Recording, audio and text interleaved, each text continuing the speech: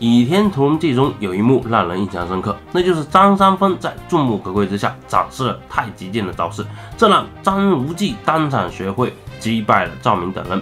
其实这里很多人就有疑问：张三丰不怕自己的武当绝学太极剑被人偷学走吗？今天是影春秋就和大家讨论讨论这个问题。我们都知道，金庸武侠体系中武功可以分为两个部分，一部分是外功招式，一部分是内力。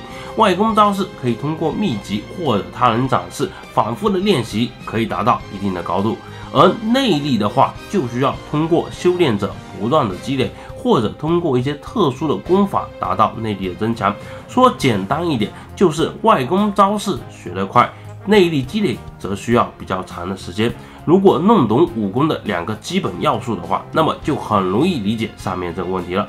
张三丰在众人面前展示的太极剑，则是一门外功招式，也就是说，通过反复练习这些招式，一般都可以得到一定的提升。就拿独孤九剑来说。它就是一门完全不需要内力的外功招式，而这门不需要内力的外功招式还极为强劲。若是练至顶级，恐怕很多拥有顶级内力的人都无法招架。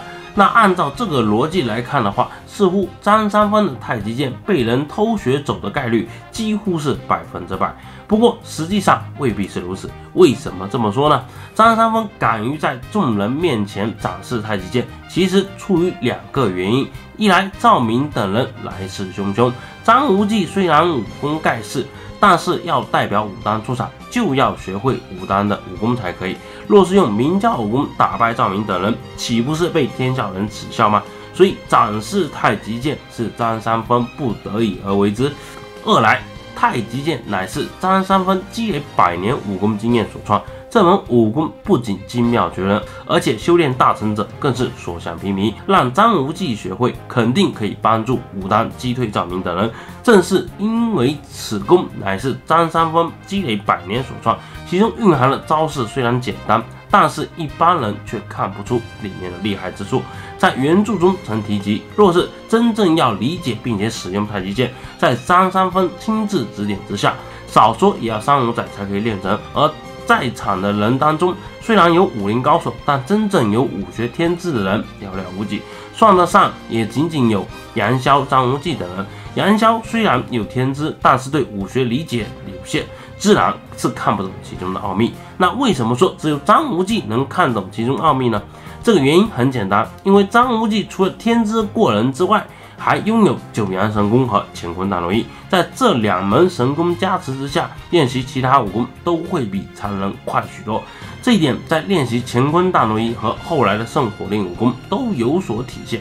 前面我们也说了，除了极个别外功是不需要内力之外，大部分的外功招式都需要内力辅助。如果只有招式没有内力，那完全就是假把式。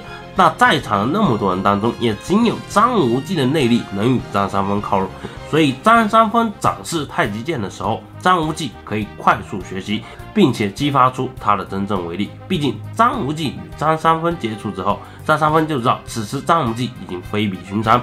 在赵敏咄咄逼人的情况下，迫不得已在众人面前展示了太极剑的招式。